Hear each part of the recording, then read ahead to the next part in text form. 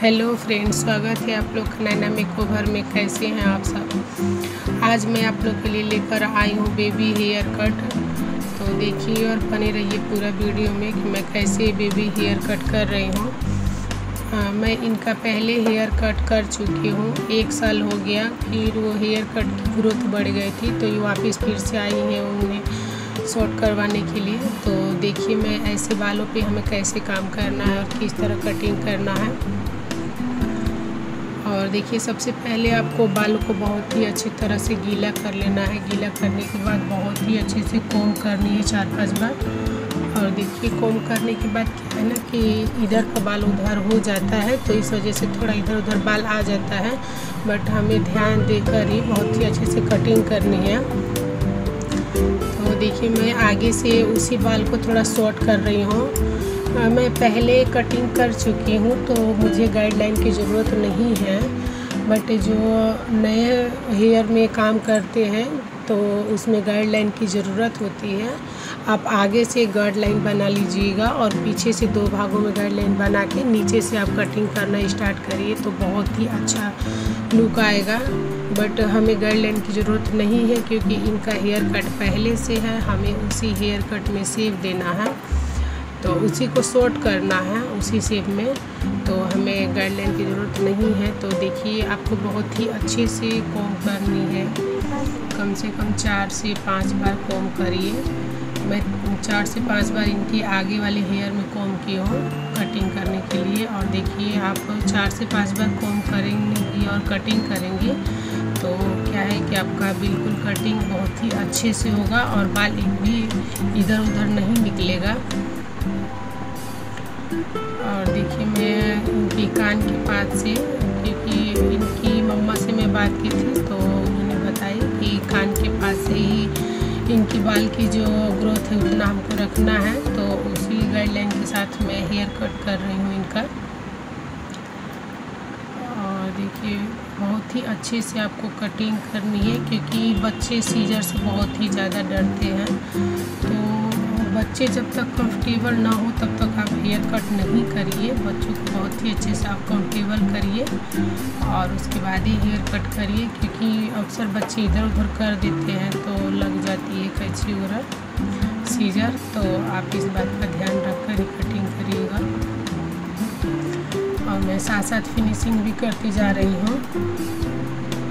और देखिए लास्ट में मतलब कई बार आपको कोम करनी है और कटिंग भी करनी है। नीचे का हेयर भी मैं थोड़ा थोड़ा जो है उसे साफ़ करती जा रही हूँ, कट करके। ये भी बच्ची बहुत ही ज़्यादा डरती है। बट हमें क्या है ना, बहुत ही ज़्यादा ध्यान से काम करना है बच्चों के साथ। आराम आराम से काम करनी है कि कहीं से लग ना जा देखिए इधर उधर बहुत ही ज़्यादा हिला रहे थे ये। बहुत ही ज़्यादा ध्यान से काम कर रही थी, कि इनको लग न जाए। तो आपको भी इन बातों का बहुत ही ज़्यादा ध्यान देना है।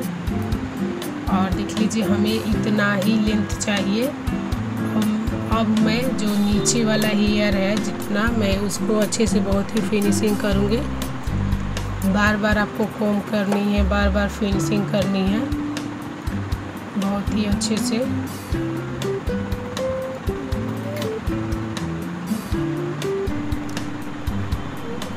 क्या है कि पैर देखिए बहुत ही अच्छे से कोम करनी है।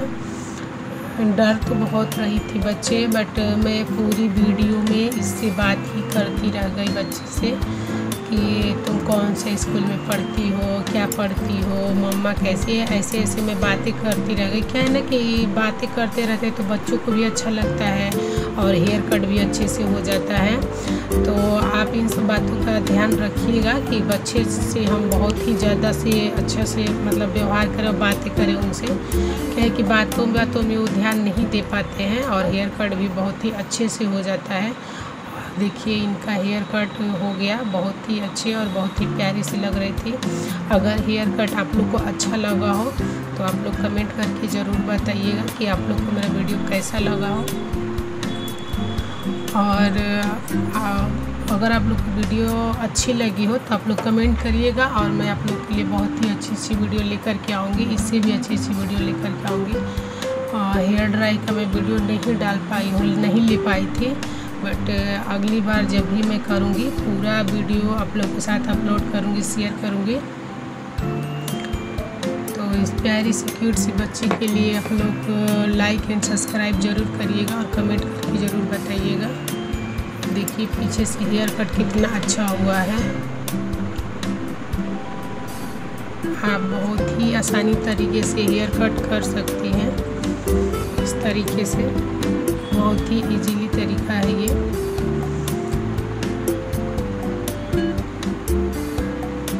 चलिए फिर मिलेंगे नेक्स्ट वीडियो में।